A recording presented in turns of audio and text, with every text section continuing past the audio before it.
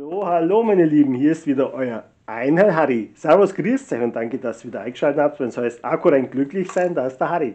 So, heute geht es um, wieder um ein Power Exchange Gerät. Ihr wisst selber, Power Exchange, das erfolgreichste und kompetenteste Akkusystem, perfekt für uns Heimwerker.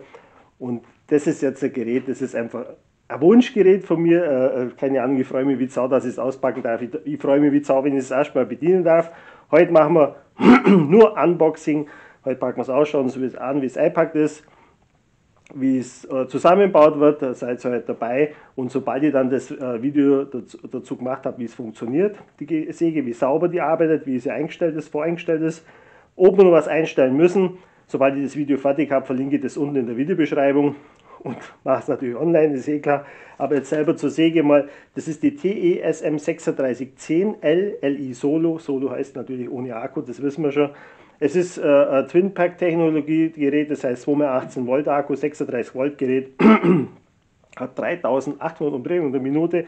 Das Sägeblatt ist ein 254 mm großes Sägeblatt, 254 x 30 mit 40 Zähnen, also sagen wir jetzt mal, so eine Art Universalblatt würde ich jetzt mal sagen, wo ihr einfach alles mal hernehmen könnt. ich habe natürlich das Vorgängermodell auch, das steht auch bei mir in Italien in meiner Werkstatt und deswegen freue ich mich riesig, dass ich das kriege. Das kommt da auf meinen Sägebock auf, dieser Universalsägebock, wo es gibt von Einheil. Äh, da kommt die drauf, dass die einfach mobil ist, also nicht mehr irgendwo fest baut, sondern mobil dieses Mal. So, dann haben wir, haben wir erstmal einen Frosch im Hals haben wir einen Schwenkbereich von minus 47 bis plus 47 Grad, einen Gärungsschnitt von 0 bis 45 Grad nach links, äh, Schnittkapazität 340 x 85 und das ist das Geile, dass du so eine riesige Schnittkapazität hast. Das freut mich, weil ich baue nämlich als nächstes, äh, die wo meinen, meinen Kanal verfolgen und auch den Allround Harry Kanal, wo ich das jetzt auch gesagt habe, was ich baue. Ähm, baue ich was und äh, ich verlinke euch den Allround Harry Kanal da unten, könnt ihr euch anschauen, vielleicht ein Abo machen dann, verpasst es auch nicht, wenn ich mit den Einheitgeräten arbeite. Ähm, dann haben wir 15,7 Kilo ohne Akku, ein bisschen schwerer wie die alte, die alte war 12,6 Kilo und das Sägeblatt war 300, äh, die Schnittkapazität war 310 x 65, also haben wir da jetzt schon ein bisschen mehr Kapazität vom Schneiden her. Ähm, dann hat es einen Laser, LED-Beleuchtung, hat einen Softstart, ein Überlastschutz natürlich, eine X-Trend äh, Arbeitsauflage mit Endanschlag und eine Spannvorrichtung und einen Spänienfangsack. Aber jetzt würde ich sagen, spannen wir uns nicht länger auf Folter, sondern packen wir das Teil mal aus hier. Und da muss ich sagen, da hat der Osterhas ganz schön schwer zum Schleppen gehabt bei mir. Weil ich habe die zu Ostern bekommen, ganz ehrlich gesagt. Und ja, das war schon ein tolles Ostergeschenk.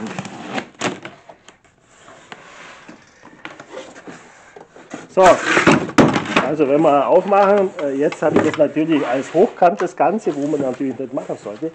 Aber wir haben hier mal die Auflagen, die X-Tent-Auflagen. Die sind jetzt schon wieder eine richtig krasse Nummer besser wie bei der alten, muss ich ganz ehrlich sagen. Also sie fühlen sich besser an, ob sie besser sind. Also sie schauen auch besser aus. Ich glaube, die müssen auch was machen, das ist sind sehr stabil haben wir zweimal die Auflage, dann haben wir den Späne-Fangsack,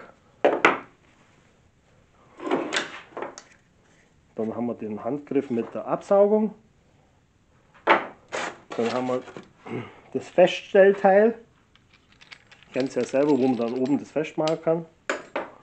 Dann haben wir natürlich dabei Bedienungsanleitung, Sicherheitshinweise, Garantiehinweise, unter anderem natürlich in Deutsch, so wie es gehört, ist dabei. Auch dann haben wir hier noch einen, Griff und eine Schraube. Und dann würde ich mal sagen, schauen wir mal, ob, das so geht oder ob man sie. Nein, ich glaube nicht. Ich glaube nicht.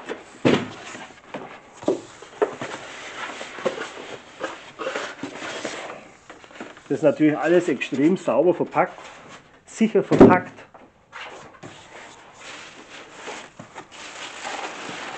haben wir sie dann schon. Wie gesagt, 15,7 Kilo. Leicht. Leer ist es.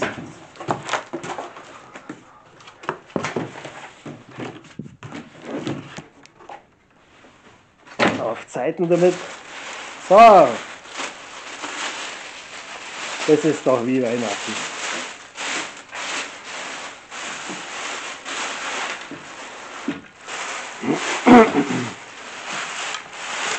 Das ist doch wie Weihnachten hier. Steht die doch schon mal sauber vor uns. Also, dann haben wir hier, das ist wichtig, den Zettel müsst ihr beachten. Hier. Da können Sie die Garantie vom Gerät ein verlängern auf drei Jahre, bei Akkus ein Jahr länger auf zwei Jahre und hier, wenn Sie das, können Sie euch einscannen. Hier können Sie es verlängern und dann können Sie noch was gewinnen. Aber schaut euch das an, das ist wichtig. So, und schon steht sie vor uns in einem wunderbaren Rot. In einem wunderbaren Rot steht die vor uns. Super geil. So, und dann müssen wir sie natürlich so weit montieren, dass wir sie hernehmen können. Also sie hat natürlich die Griffigkeit ist eh klar hier. Hier kommt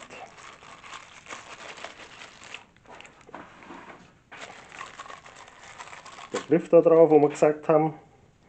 Und zwar schaut das Ganze so aus. Und den muss ich jetzt praktisch mit dem so hermachen, verschrauben.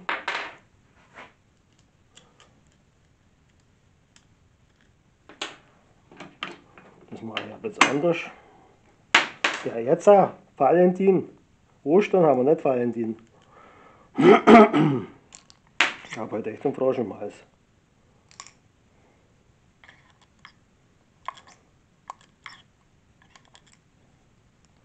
Irgendwie äh, ist das ein blöder Schraubenzieher. Machen wir es so. Hallo, was ist jetzt heute?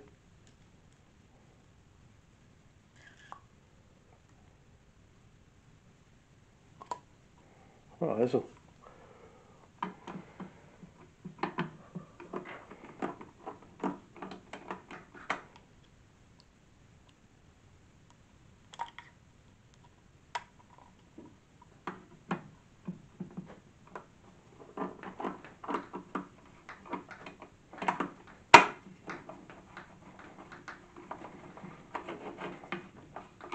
Gescheit festziehen.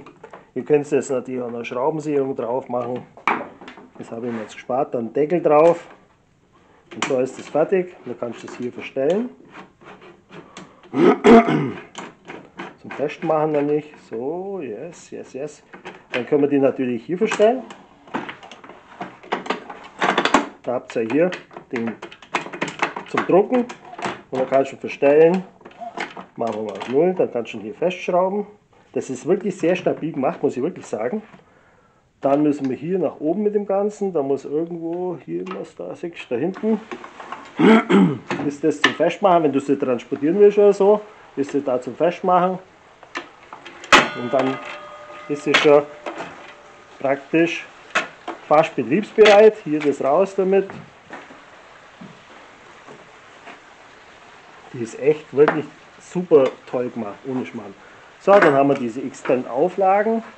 Die können hier in der Seite rein. Da müssen wir aber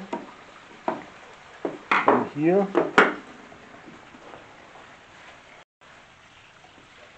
praktisch die Schraube hier empfangen. Dann gehört die da rein. Ihr seht es mit der Schrift nach vorne.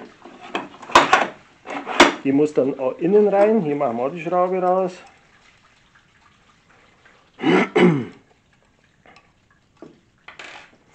Andere Seite. Dann müssen wir das ein bisschen umdrehen, oder? Ja, siehst du, kippt sich sogar schon. Da ist nicht ganz fest, ja.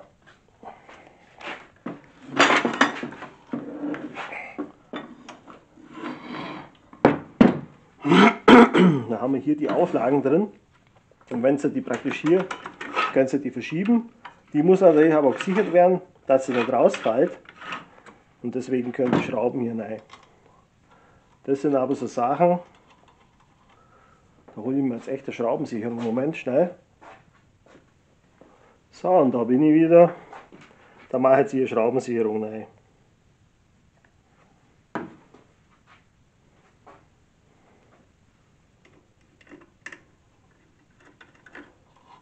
Und hier auch.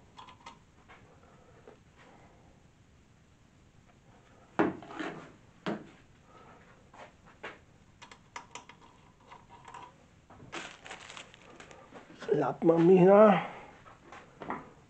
Dann Finger abputzen. Dann schrauben wir das noch fest.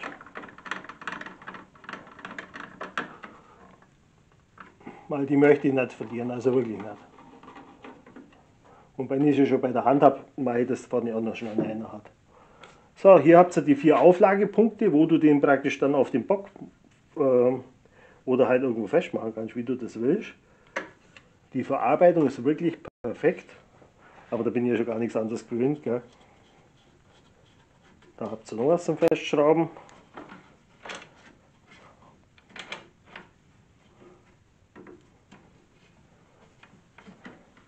So. Ja, ja, ja. Die da waren auch locker, da schon hin. Das gehört so her.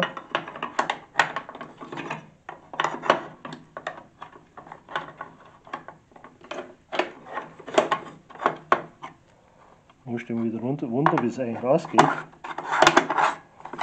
Du kannst es rausnehmen. Ich zeige dir schnell. Du hast hier eine Kerbe und dann kannst du das Ding empfangen. Und zum Reinmachen wieder so und dann kannst du es auch verstellen. So. Und hinten, da hinten praktisch festmachen. Hier. Du kannst natürlich hier auch, hier machst du das fest. Da. Hier kannst du dann den Niederhalter festmachen. Rechts oder links ist egal. Da musst du aber aufpassen, dass das flache praktisch hierher schaut.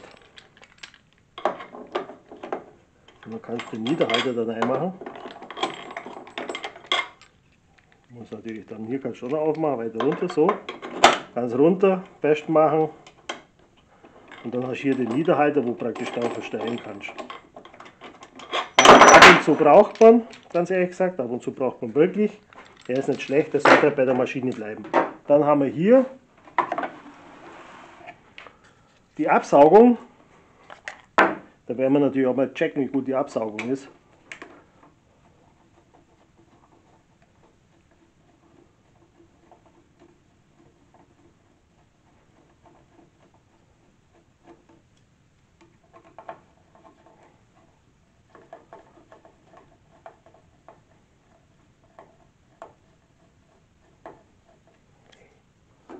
Die gehört dahin.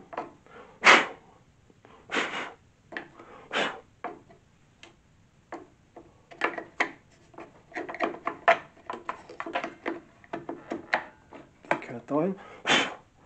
Da ist jetzt so, da braucht es eigentlich gar das ist Sprengling oben, da braucht es keinen Schraubensicherung oder so.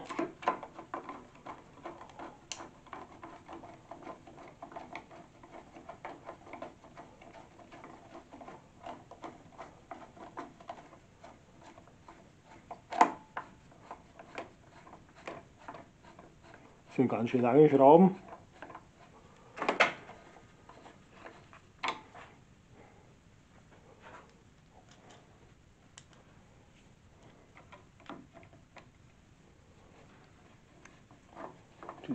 Zweite.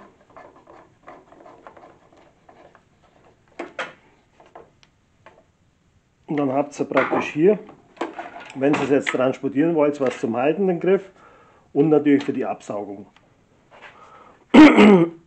Von der Absaugung selber holen wir schnell den Schlauch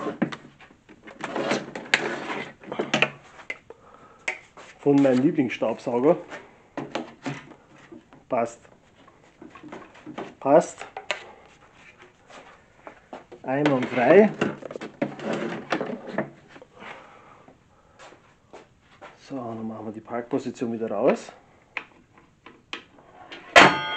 Das Eis auch sauber gefettet, muss ich wirklich sagen.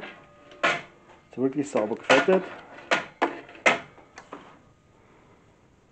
Dann hast du hier einen Imbus noch drin, habe ich gerade gesehen. Sogar mit dem Kreuzschlitz, also ich hätte jetzt gar keinen Holen brauchen zum Zusammenbauen. Dann hast du die Schraube zum Feststellen vom Schlitten.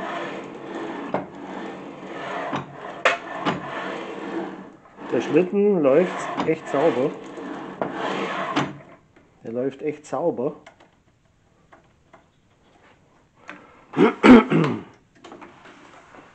Dann haben wir hier die Rändel, hier haben wir den Anschlag, weil viele oft mal sagen, meine Säge sägt nicht mehr ganz durch. Also du kommst dann nicht ganz durch und es bleibt immer zum Schluss praktisch da hinten ein Stückchen stehen. Ist mir auch schon passiert. Denk mal, was ist jetzt los?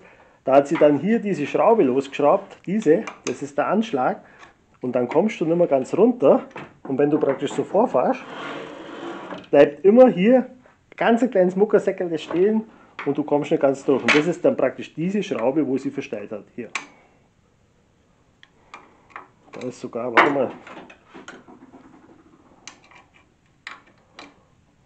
Das ist sogar Spezial. Torx mit dem Loch innen drin, okay? Also die vermuten nicht, dass es verstellt. Das ist jetzt fest, ich kann mit dem Schraubenzieher rein. Und du hast natürlich auch noch einen Höhenanschlag. Ich habe ja schon mal mit so einer Säge ähm, praktisch nur so eine Einbuchtung gemacht, in, äh, wo ich mein Ding drüben gebaut habe, meine Tippstation. Und dann kannst du hier praktisch runterstellen, wenn du nicht so tief rein willst, dass hier dann der Anschlag praktisch das da ist. Ja, und das, wenn du praktisch jetzt so, das sollte das Rädel immer ganz unten sein, auch fest sein, nicht dass es selber verdreht, weil wenn du öfter sägst oder so, wenn du dann mehrere Sachen sägst, dann schraubt es dann selber oft rein. Die Dinger kannst du natürlich auch noch verstellen, sind auch festschraubbar hier, da, mit dem da. Auf der anderen Seite das gleiche. Dann haben wir hier die Gradanzahl, da kannst du hier losschrauben. Dann kannst du sie kippen. Die Gärungsschnitte 0 bis 45 Grad haben wir gesagt. Das ist, warte mal,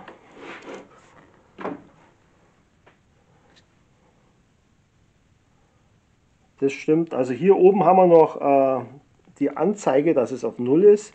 Die geht jetzt nicht genau auf 0. Also das müssen wir jetzt dann nur testen, dann mache ich ein extra Video. Zum Testen schneidet sie jetzt schon genau.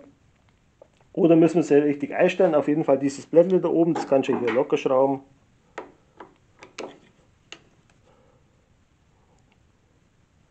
Da ist natürlich auch das Eischraub drin. Und das verstellt sich ja ziemlich einfach. So, jetzt. Da ist nur eine drin, da wäre es jetzt besser gewesen, das Ding wäre länger gewesen, hätte vielleicht oben noch zum Verstellen was gehabt an einer Schraube und die andere hätte sie auch noch gehalten, weil wenn du mit irgendwas hinkommst, könnte es sein, dass es sich verstellt. Könnte sein. Aber das läuft echt sau gut. Wie gesagt, hier ist der, warte mal, ich mache das fest, Parkposition, einfach das da rein, Parkposition und dann würde ich sagen, dann lassen wir sie doch mal rennen. Ne? Und das, die X-Auflage kann schiefer stellen.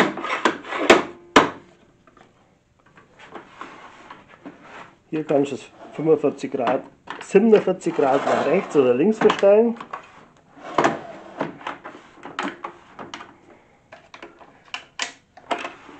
Du hast hier einen Sicherheitsschalter, musst nach links drücken und dann kannst du runter mit dem Ganzen.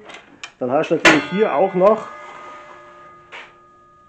den Laser, das Laserlicht und die Beleuchtung praktisch, LED-Beleuchtung, aber ich hole jetzt einfach mal zwei Akkus, würde ich sagen. Das sind jetzt 4H Plus Akku. Wenn ich jetzt damit säge, würde ich natürlich immer die 8 Ampere nehmen. 6 bis 8 würde ich nehmen. So, dann haben wir hier das Laserlicht. Dass du siehst, wo der Schnitt läuft. Und hier haben wir die Beleuchtung. Hier. Und da seht ihr auch, wo das Licht. Läuft da, schau. Und hier haben wir die Beleuchtung. So, jetzt machen wir den aber auf 0. Dann machen wir ihn fest.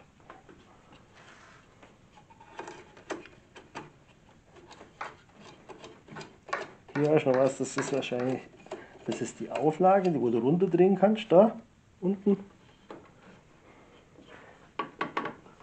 Dass es auch gescheit aufliegt, wenn man will.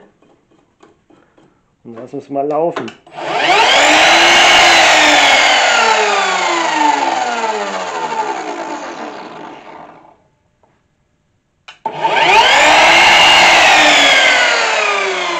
Soft-Start-Funktion und wenn ich jetzt drücke, also ich sag's euch jetzt, warte mal, jetzt drücke ich, jetzt.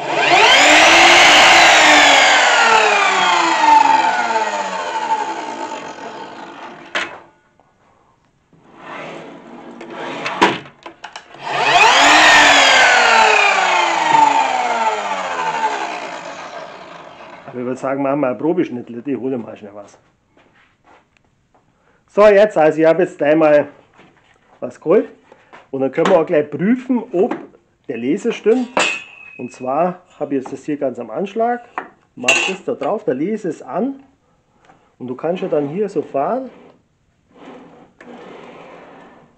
und der fährt wirklich astrein an meinem Lineal entlang. Also der ist wirklich top eingestellt.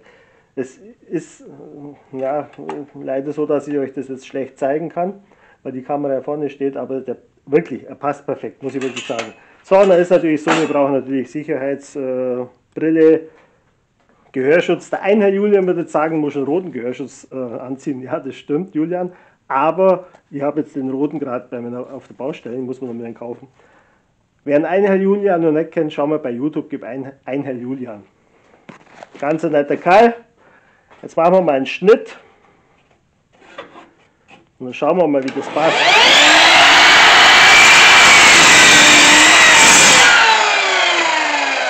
Das habe ich jetzt befürchtet. Ich habe extra einen Staubsauger hergerichtet. Mein Gott, das gibt's doch nicht. TEVC 1810, perfekt für solche Arbeiten.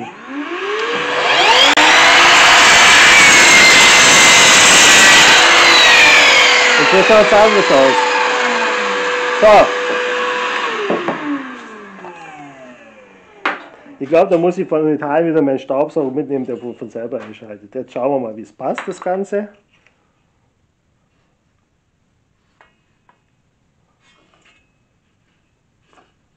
Das kann ich euch jetzt leider auch schlecht zeigen.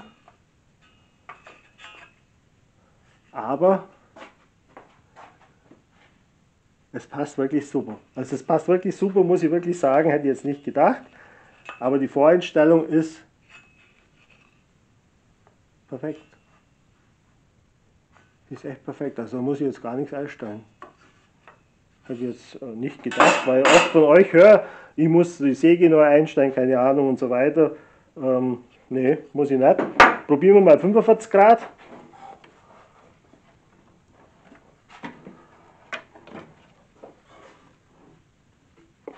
45 Grad. Und da ist jetzt aber so, jetzt müssen wir natürlich aufpassen, dass wir mit dem Sägeblatt nicht hier reinfahren und wir müssen das nach außen stellen. Dieser Halter muss jetzt nach außen und sonst schneidet man nämlich voll, ich kann jetzt ins Sägeblatt rein, man sieht es ja hier, man muss den rausstellen. Und hier genauso eigentlich, dass der draußen steht.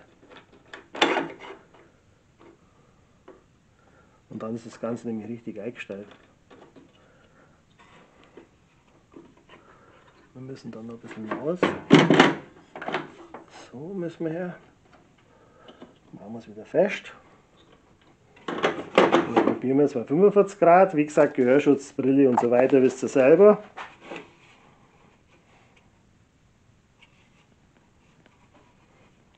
Jetzt können wir natürlich auch unseren Halter hernehmen. Hier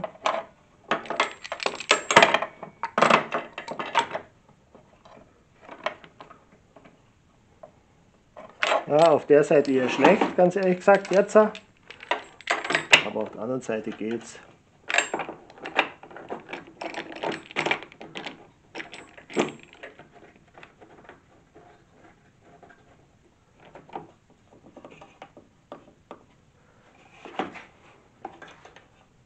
Ich bin da nicht ganz drunten. Da ist die Schraube nicht ganz heraus. Jetzt, jetzt ist sie fest. Dann machen wir den dahin, wie gesagt so rum. Machen wir den fest.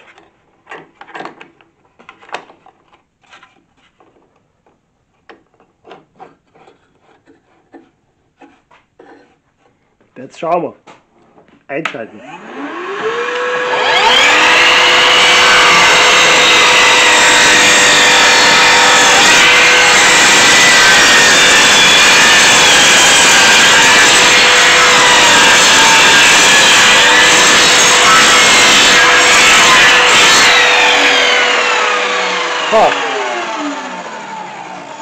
Ist natürlich, da geht immer was daneben. Also du, ich glaube, du schaffst es nicht, dass das hundertprozentig funktioniert.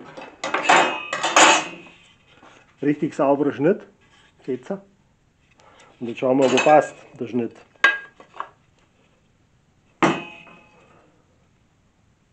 Boah.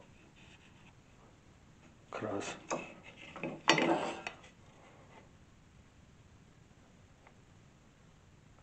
Ich lasse jetzt einfach ein bisschen stehen, schaut so.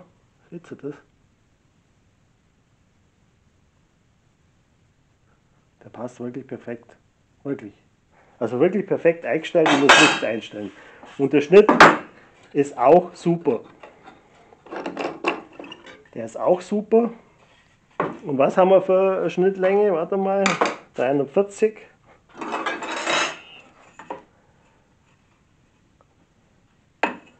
Das sind jetzt 300 nur, was das hat. 340, Moment. So, 340 machen wir hier.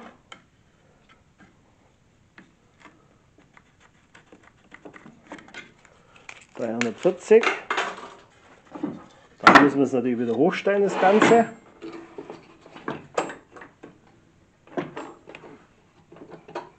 Anziehen nicht vergessen, ganz wichtig. Dann ist das Coole einfach das mit dem Laser,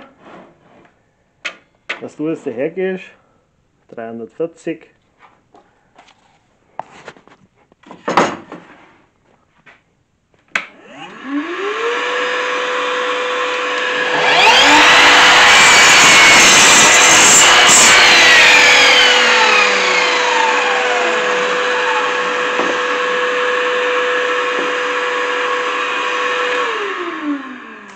Das ist das Coole jetzt mit dem Laser. Und jetzt zeige ich eins. Das meine ich damit, wenn die Höhenverstellung verkehrt eingestellt ist. Und jetzt haben wir ja das Problem, dass das da praktisch vorgeht und dann nicht ganz durchgesägt wird. Also ich muss die noch ein bisschen runterstellen, dass die weiter vorgeht. Oder ist irgendwas im Weg?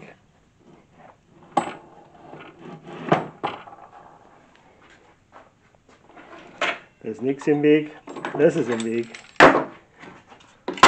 Aber das wird passieren, also das ist dann, wenn du sowas machst im Weg, gerade bei sowas. Und das wird passieren, wenn du praktisch das nicht ganz durchschneidest, wenn die, der Tiefanschlag nicht stimmt. Aber es schneidet jetzt einfach. Perfekt. Ihr habt das wahrscheinlich gleich gesehen, gell? so, jetzt wie der Staubsauger vergessen. Jetzt haben wir hier 340. Da können wir anschauen, ob es passt. Wie der Laser ist. Ja, es passt. Und dann haben wir hier 340. So, ich mache das jetzt ganz nach links, weil das natürlich so, wie das so sei, ist das zum Schneiden und festspannen kann ich so nicht. Eigentlich macht man das nicht. Eigentlich macht man das jetzt nicht, weil das ist jetzt echt gefährlich. Das ist jetzt echt, äh, das machen wir nicht. Das machen wir nicht. Ich schaue mal, ob ich was anderes habe. So, ich habe was anderes gefunden. Hat zwar nur 320, aber es ist auf jeden Fall sicherer, wenn ich das jetzt hernehme, weil Ich bin aber der, der wo eigentlich das eher links hat als wie rechts. Ist natürlich, wenn du die Säge gibst, nicht möglich. Aber jetzt, der, jetzt natürlich schon.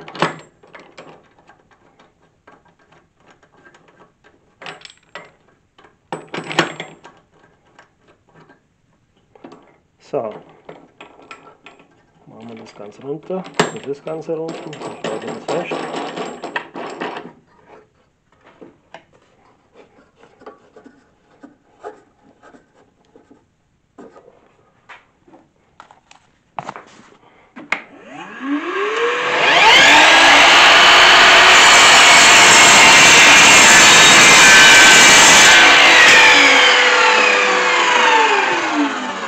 So.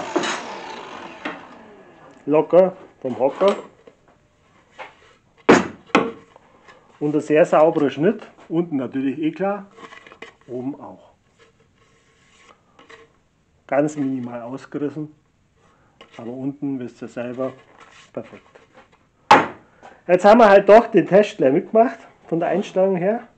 Natürlich könnt ihr es noch 45 Grad so rum einstellen.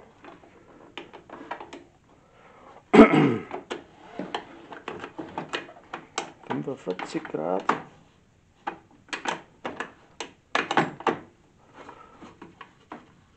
Es ist auch wirklich sauber hier anzeigen, ohne Schmarrn, das passt perfekt.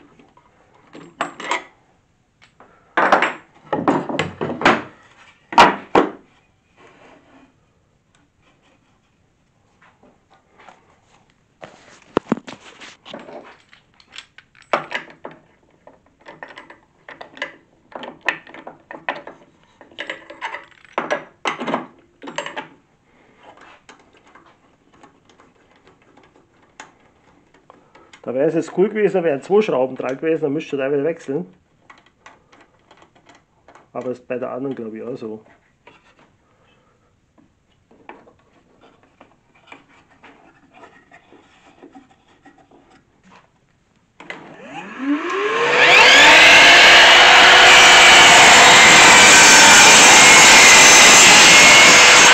Aber auch wieder das Problem, dass das nicht geht.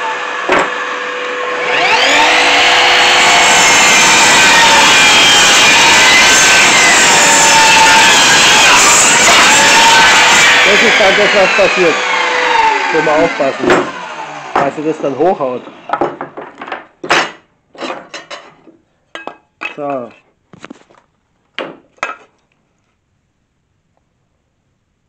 Ja. Das passt auch perfekt, muss ich ganz ehrlich sagen. Passt auch perfekt. Kann man wirklich nicht jammern. Aber das sind so Sachen, wenn du sowas schneidest, soll es hier länger sein und dann kannst du hier nämlich das drauf machen. Tippe ich mal. Probieren wir es mal.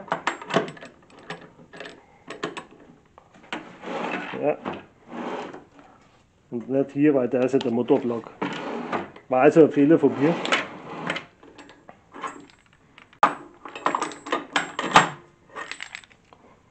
So, ja, das lassen wir gleich stecken. Also ich muss jetzt sagen, meine Säge ist wirklich gut eingestellt. Ich kann nicht schimpfen. Und ich, bin, ich freue mich schon riesig damit zum Arbeiten. Du siehst ja hier den Laser schon ganz genau, wie der genau in der Mitte verläuft.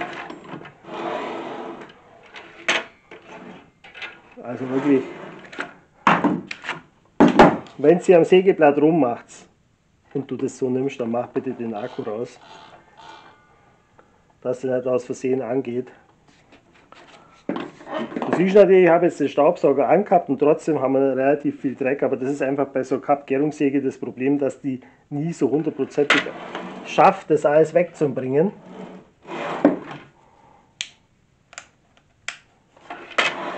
Ganz ehrlich gesagt, aber also ich freue mich richtig drauf, jetzt wieder arbeiten zu können. Ich schraube sie als erstes jetzt aber auf den Sägebock drauf. Wie heißt der gleich? Ich sag's euch schnell. Den gibt es nämlich als Zubehör bei Einheil. MSS 1610. Das ist der da, Moment, ich zeige es euch schnell. Der da. Da kommt äh, die da, das ist meine, meine 14 Jahre alte Kappzuggärungssäge, die kommt jetzt wieder da drauf, auf, die, auf den Bock, weil mir das sowieso ein bisschen im Weg da drüben ist. Und äh, die kommt auf den drauf, weil ich das einfach will, dass die jetzt mobil bleibt, dass ich sie mit aufnehmen kann. Ich baue, mein nächstes Projekt steht ja oben schon wieder an. Das Projekt seht ihr, wie gesagt, im Allround-Harry-Kanal. Der ist unten verlinkt, die Säge ist unten verlinkt. Ihr könnt euch das alles anschauen. Ich habe es jetzt nicht im Kopf, was sie kostet, aber der aktuelle Tagespreis ändert sich eh laufend bei dem großen A. Und du kannst es praktisch hier transportieren, ganz einfach es ist, also ich freue mich wie Sau, ohne Schmarrn. Ich freue mich wie Sau, da festmachen und gut ist. Also, das war es schon wieder von mir. Ich hoffe, es ist ein bisschen Entscheidungshilfe gewesen. Brauche ich die, will ich die, muss ich die haben. Und äh, wenn du noch kein Abo nicht gemacht hast, solltest du es machen, weil ich immer die neuesten Geräte gerade in der Power Exchange Klasse präsentiere, sodass du eine Entscheidungshilfe hast, was du willst und was du nicht brauchst oder doch brauchst oder, oder haben musst. Und dann würde ich sagen, das war's von mir. Danke. Ähm, wie gesagt, die, die noch kein Abo haben, sollten eins machen. Und ansonsten hoffe ich, dass du nächstes Mal dabei bist, wenn es heißt Akku Harry rein. Akku rein, der Harry ist da. Akku rein, glücklich sein, da ist der Harry. Also, bis zum nächsten Mal, bleib gesund, schau wieder ein, wenn es heißt Akku rein, glücklich sein, da ist der Harry. Und wir sehen uns im nächsten Video. Ciao, Servus, mach's gut.